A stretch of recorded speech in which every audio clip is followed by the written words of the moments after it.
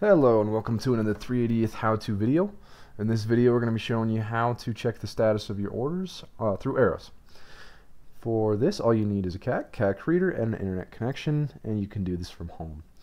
For this we're going to actually be using Google versus Internet Explorer since Internet Explorer is not compatible. Oh, once you open up Google, the quickest way to get there is going to be searching AROWS R. First result is going to be here. It says browser not supported, but that is a lie.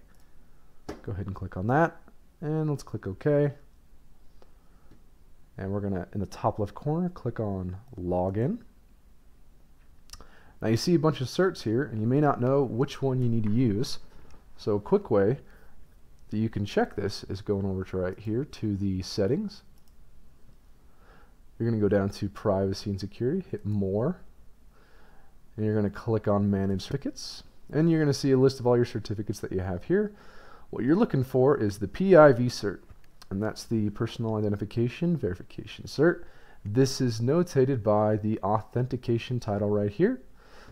So this is DODID CA52 I have two of those but which one specifically? Double click. Details. Serial number is right here. 11F 5, D3. Now I know which cert that I should be logging into. And we're going to go back and select the correct one.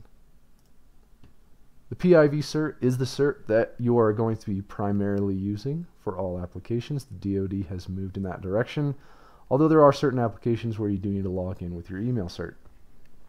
Once you're on AROWS homepage, we're going to select this menu. We're going to go to Member, and you have options here on the left side. If you have orders that are in progress, you're going to click Applications in Progress. I currently have none, but you will. You will see a tracking number, status, start, end date. All of this will be populated for you. But just to show you, I'll go to one of my approved orders, and this is what you'll see. You'll click on tracking number here. Once this is brought up, you will see a list of where it was routed, if it was approved, when it was approved, and who approved it.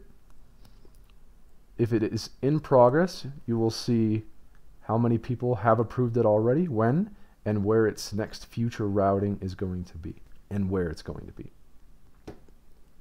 So that's how you check your orders in AROWS.